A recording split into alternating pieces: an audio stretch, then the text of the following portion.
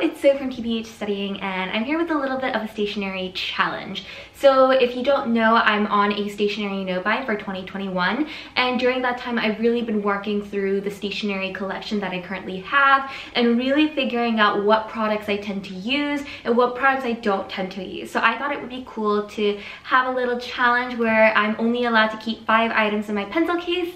So without further ado, let's get right into it. So this is actually really hard for me because I'm a maximalist. I really love having a variety of colors to use for color coding, for drawing in my bullet journal, and I just like having a variety of pens for different purposes and for different writing styles.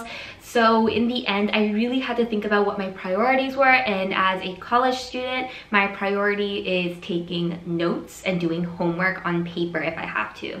Um, nowadays, I use my iPad a lot to take digital notes, so it was a little easier in that regard, but still my priority when I was picking up these items was thinking about what I genuinely use to take notes and what I use on a day-to-day -day basis in class. So the very first item I decided to keep was a mechanical pencil in 0.5. I chose the Muji brand specifically because it was, I believe, either 150 or $3 USD, and that's a relatively cheap price point for a good quality mechanical pencil, but any mechanical pencil in 0.5 lead would honestly do. For mechanical pencils, I prefer 0.5 lead because I find that size works the best with my handwriting style. 0.7 just makes like my handwriting look really chunky and it's harder to find 0.4 or smaller sizes of lead. I have a lot of 0.5 lead, so it's just the most convenient for me, and the Muji one happened to be the cheapest one within my collection.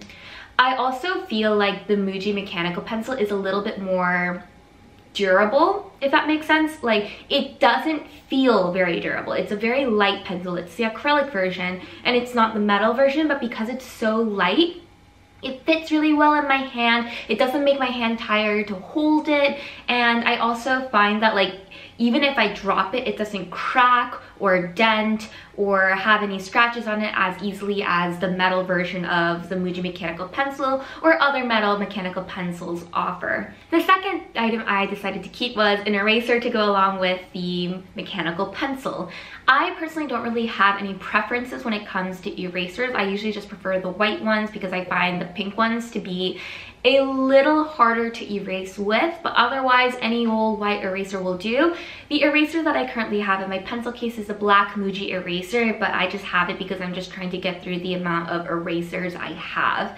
The kind of eraser that I tend to use is the Tombow Mono Eraser because I find that it's small, it's portable, erases well, and doesn't tear the paper as easily as some of the other kinds of erasers that I've tried before. I believe it's called the Pentel or maybe it's a Staedtler white eraser, but I find that the Tombow one is a little softer and thus doesn't tear through thinner types of paper as easily as those thicker white erasers can be. But this Muji one is fine as well and I've had no issues with it. So that would be the second item I have. The third item I would keep is a gel pen. So when it comes to pens, I debated whether or not I wanted like colored pens for color coding or if I was just gonna stick with a black pen. And quite honestly, black pens are the only kind of pen that I will regularly use up and the brand that I chose was a Zebra Sarasa pen in 0.5.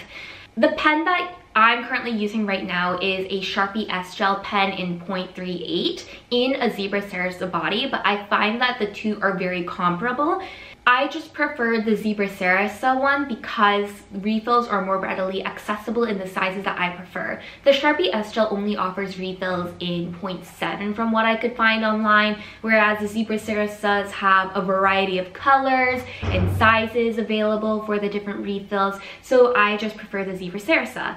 I also find that compared between different gel pens, my favorite has been the Zebra Sarasa ink because other inks from like the Pilot Juice pens or the Pilot G2s have been very inky, very runny, very easy to smear. And the Uniball Signos are not bad. I just find that the ink is very runny in 0.5 compared to the 0.38 and I personally prefer 0.5 over 0.38 millimeter tip sizes. So yeah, that's why I picked the Zebra Sarasa and in a perfect world, we would have a Zebra Sarasa refill, but I'm really trying to get through this Sharpie S-Gel right now, so there's that.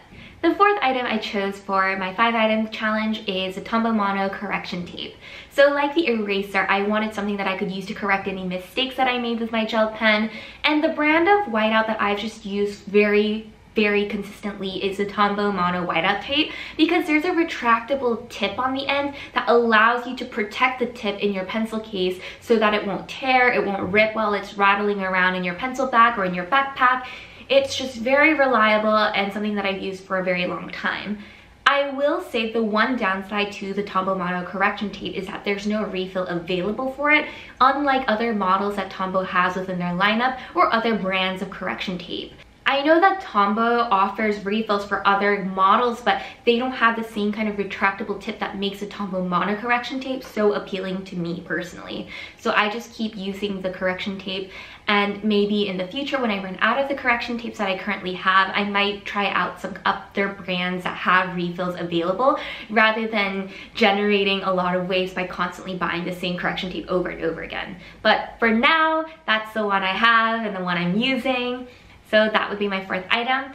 And my fifth item would have to be a highlighter. So this took a very long time because highlighters are probably one of my favorite pieces of stationery ever because I just love how highlighters can have a range of interesting shades. You can use them to color correct your notes even after the lecture is over. And there's such a wide variety available on the market today from a ton of pastel colors to neon colors to more retro and vintage muted colors. So it was really hard deciding on which highlighter I wanted to use, but eventually I finally settled on the Uni Propus Soft Color Highlighter in the shade Purple. One thing I really like about the Uni Propus highlighters is that they have a dual-ended tip to them, so there's that flat chisel tip as well as a fine tip marker-like tip on the other end. So that means I can use it for a multiple array of purposes, whether that be highlighting, underlining, drawing diagrams, using it like a marker, using it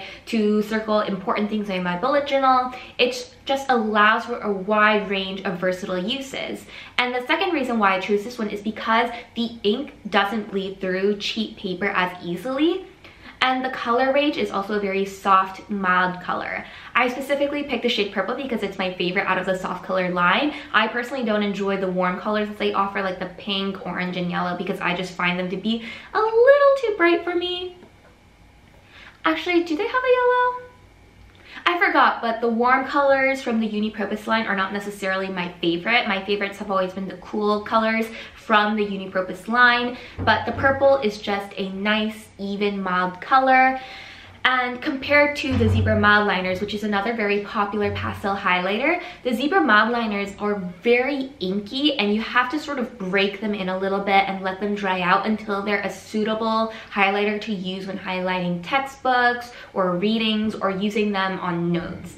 If you use very thick paper, or high quality paper such as Tomoe River paper or cardstock or just a heavier weight paper, you might not have the same issue with the Zebra Mildliners or other highlighters like the Stabilo Boss or the Staedtler highlighters like I have, but Personally, I just find those highlighters to be very inky, to have higher bleed through than the Uni Propus line. And also, I just think it's fun that the Uni Propus has like a cool little window that you can look through to see what you're highlighting. So that's the end to my five item challenge. This was a really hard challenge for me to pick out personally because I just have so many stationery favorites. I really wanted to include some other highlighters like the Staedtler Triplus Text Surfers or some colored gel pens such as the vintage Zebra Sarasa line.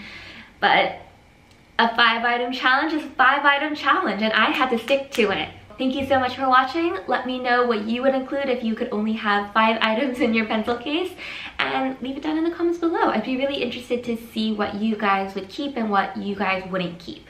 So thank you so much for watching. Hope you enjoyed the video and I will see you in the next one. Bye-bye!